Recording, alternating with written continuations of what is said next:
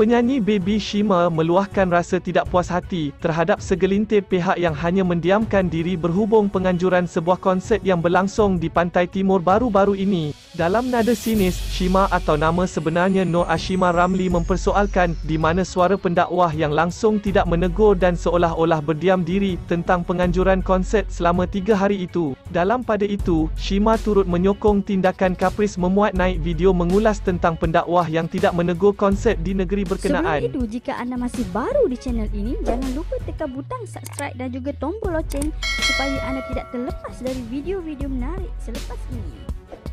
Perkongsian Shima itu mengundang pelbagai reaksi daripada netizen dan rata-ratanya bersetuju dengan pendapat penyanyi lagu lalai ini. Itu menunjukkan satu jari tunjuk kesalahan orang, empat lagi menunjukkan yang empunya diri lagi salah. Dulu kata konsert ini haram, maksiat, siap nak buat demo seluruh negara. Sekarang ini walaupun bodoh dan ubah nada spin asing-asing, perempuan depan, laki belakang dalam ruang sempit katanya, komen netizen. Sementara itu Shima menjelaskan tujuannya berkongsi mengenai perkara perkara ini bukanlah bermaksud menyalahkan ilmuan agama yang memberikan teguran sebelum ini. Sebaliknya dia hanya mempersoalkan mengenai keadilan dan berharap tiada pilih kasih dalam menegur sesuatu isu. Saya tidak menyalahkan ustaz dan ustazah yang memberi ceramah tetapi mana keadilan nak tegur orang harus memilih ke? Lain kali jangan petik nama bila berceramah seperti mana ustaz bertauliah memberi ceramah pada orang lain, luahnya lagi.